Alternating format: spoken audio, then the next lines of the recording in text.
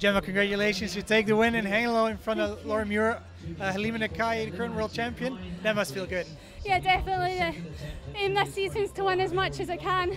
So yeah, I'm really happy to take the win.